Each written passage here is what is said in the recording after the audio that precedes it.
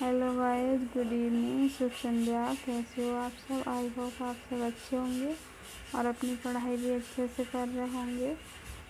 तो आइए आप सबका स्वागत है आपके अपने YouTube channel Sudhakar Singh education hub पर। तो गाइस आज हम डिस्कस करेंगे भाषा की प्रकृति एवं विशेषताएँ। भाषा की प्रकृति क्या है और विशेषताएँ क्या है? आज हम इस बारे में डिस्कस करेंगे। प्रत्येक भाषा की प्रकृति भिन्न होती है, भिन्न मतलब अलग होती है। जो भी भाषा होती है, उसकी प्रकृति क्या अलग होती है। परंतु सामान्यतः हिंदी भाषा की प्रकृति के संबंध में क्या कहा? परंतु सामान्यतः हिंदी भाषा की प्रकृति के संबंध में निम्न तथ्यों पर विचार किया गया है। इसमें जो नीचे तथ्य दिए गए हैं, उस पर क्या है? विचार किया गया। भाषा एवं विचारों में एक अटूट संबंध होता है। भाषा एवं विचारों में क्या? एक अटूट संबंध होता है। ठीक है? ये तो हमारा पॉइंट फ़र्स्ट है।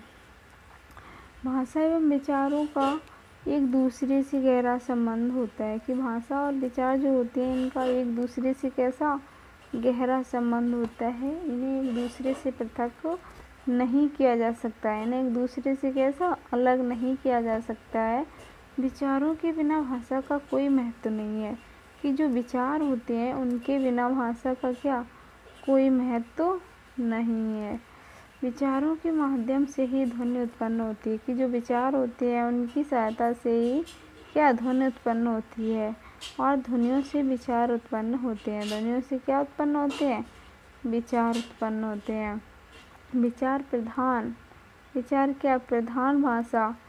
मानव जगत की विशेषता है। मानव जगत की क्या है? विशेषता है। मनुष्य के अतिरिक्त, मनुष्य के अतिरिक्त अन्य किसी भी प्राणी की, कि मनुष्य के अतिरिक्त अन्य किसी भी प्राणी की उनकी अपनी उनकी अपनी भाषा तो होती है। क्या अगर मनुष्य के अतिरिक्त कोई भी प्राणी हो, उनकी अपनी भाषा तो होती है। परंतु उनके अपने कोई विचार नहीं होते हैं।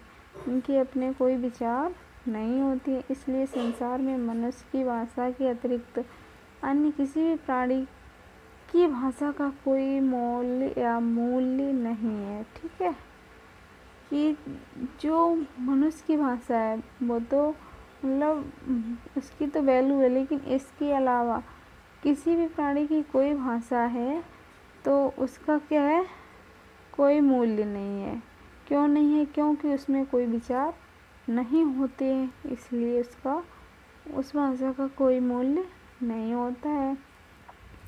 अगला पॉइंट देखते हैं। नेक्स्ट पॉइंट है हमारा। भाषा का एक सांकेतिक साधन। भाषा अभिव्यक्ति का एक सांकेतिक साधन। भाषा ही एकमात्र ऐसा साधन है कि जो भाषा है, वो एकमात्र ऐसा साधन है जिसकी माध्यम से, जिसके माध्यम से मनुष्य समाज के अन्य सदस्यों के साथ, कि मनुष्य समाज के अन्य जो सदस्यों के साथ, अन्य जो सदस्य होते हैं, उनके साथ अपने भाव प्रदर्शित करता है। क्या करता है? अपने भाव प्रदर्शित करता है। आपसी विचार विमर्श करता है, आपस में बातचीत करता है। अपनी बात समाज के एक सदस्य दूसरे सदस्य तक पहुंचाता है। जो अपनी बात होती है, वो एक मतलब एक व्यक्ति जो है, दूसरे व्यक्ति तक पहुंचाता है, ठीक है? अगला पॉइंट है हमारा तीसरा। भाषा का संबंध परंपरा से होता है। भाषा का संबंध परंपरा से होता है। भाषा का संबंध समाज की परंपरा से होता है। यह एक पीढ़ी द्वारा ग्रहण की जाती है। यह एक पीढ़ी द्वारा ग्रहण की जाती है। इसके मूल रूप में थोड़ा बहुत परिवर्तन होता है। जो मूल रूप होता है, इसमें थोड़ा बहुत परिवर्तन कर सकते हैं, परंतु इसमें आमूल, चूल परिवर्तन या बिल्कुल नई भाषा का सृजन एक साथ नहीं कर सकते हैं कि कोई हम मतलब नई भाषा का सृजन जो है, एक साथ नहीं कर सकते हैं। थोड़ा बहुत उसमें बदलाव कर सकते हैं, लेकिन इसको पूरी तरह से ये बदल जाए, वो नहीं हो सकता। मतलब वो नहीं बदल सकती है, थोड़ा बहुत बदलाव हो सकता है। अगला पॉइंट है हमारा फोर्थ। वो है, भाषा एक अर्जित संपत्ति है। भाषा क्या है? एक अर्जित संपत्ति है। भाषा का वंशानुक्रम से संबंध नहीं होता है। किससे नहीं होता है वंशानुक्रम से, बालक आरंभ से ही अपने वातावरण से सीखने का प्रयत्न करता है। शुरुआत से ही मतलब जहाँ रहता है, वहीं से सीखने का प्रयत्न करता है।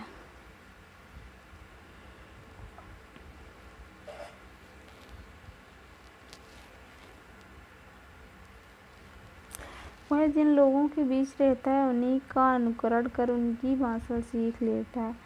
मतलब जिससे जो लोग उनके बीच में रहते हैं, जैसा वातावरण होता है, वैसा ही बच्चा सीख लेता है। यदि किसी हिंदी भाषी बालक को अन्य किसी भाषा को बोलने वाली दंपत के बीच में रखा जाए, अगर कोई हिंदी भाषी का बालक है, ठीक है, अगर वो अन्य कोई भाषा बोलता है, अगर उनके बीच में रखा जाए तो बच्चा उन्हीं की भाषा सीख लेता है। इसी प्रकार केरल में बस जाने वाले हिंदी भाषी माता पिता कोई मतलब व्यक्ति है जो केरल में बस मतलब रहने लगा तो संतान जो होती है, वो केरल में रहकर बहुत अच्छी तरह से मलयालम भाषा को बोल और समझ सकते हैं। कि जो केरल वाली जो भाषा होती है, उसको बहुत अच्छी तरह से बोल और समझ सकते हैं। अतः हम कह सकते हैं, देखो आगे क्या है। अतः कहा जा सकता है कि भाषा पैतृक संपत्ति ना होकर एक अर्जित संपत्ति होती है। कि भाषा पैतृक संपत्ति ना होकर एक अर्जित संपत्ति होती है। आगे हम अगला पॉइंट डिस्कस करेंगे, भाषा गतिशील तथा परिवर्तनशील होती है कि भाषा कैसी होती है? गतिशील तथा परिवर्तनशील होती है। भाषा स्थिर नहीं होती है वरन कैसी होती है? गतिशील होती है। किसी भाषा विशेष के बोलने वाले, कोई भी भाषा मतलब विशेष बोली जाए, ठीक है? तो बोलने वाले उसमें कम से कम परिवर्तन करना चाहते हैं।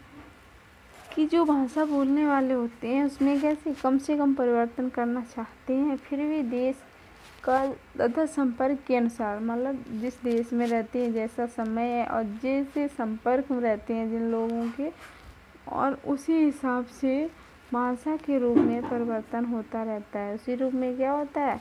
मांसा के रूप में परिवर्तन होता रहता है। भाषा का कोई अंतिम स्वरूप नहीं होता है। भाषा का कोई अंतिम स्वरूप नहीं होता है। आज से पचास वर्ष पहले की हिंदी और आज की हिंदी में बहुत ही, आज की हिंदी में बहुत अंतर देखने को मिलता है। कि जो पचास वर्ष पहले की जो भाषा थी और जो आज की भाषा है, उसमें क्या है? बहुत अंतर देखने को मिलता है। अगला पॉइंट है और लास्ट पॉइंट है। भाषा स्थूलता से सूक्ष्मता और प्रौढ़ता की ओर जाती है। भाषा स्थूलता से सूक्ष्मता और प्रौढ़ता की ओर जाती है। भाषा आरंभ में स्थूल होती है। आरंभ में कैसी होती है, स्थूल होती है, परंतु धीरे धीरे वह सूक्ष्म भावों छोटे छोटे भाव मतलब सूक्ष्म मतलब छोटे छोटे भावों तथा विचारों के आदान प्रदान के लिए अप्रौढ़ से प्रौढ़ होती जाती है। अप्रौढ़ से कैसी होती है? प्रौढ़ होती जाती है, परंतु ये सभी बातें प्रयोग पर भी निर्भर करती हैं। प्रयोग पर ऐसे जैसे हम किस प्रकार उनका प्रयोग करते हैं, अपने आप में कितना उन्हें प्रयोग करते हैं। तो गाइज़ आज के लिए बस इतना ही और मिलते हैं कल नई लेक्चर के साथ। ठीक है, तब तक के लिए धन्यवाद। तो गाइज़ आप लोग वीडियो पे अगर पहली बार विज़िट कर रहे हो तो सब्सक्राइब ज़रूर कीजिएगा, ताकि आने वाली सभी वीडियो का आप लोग लाभ भी उठा सको। और चैनल को सब्सक्राइब भी कीजिए और लाइक भी कीजिए और शेयर भी कीजिए, ताकि सही प्रशिक्षु भाई इसका लाभ उठा सकें। तो आज के लिए बस इतना ही।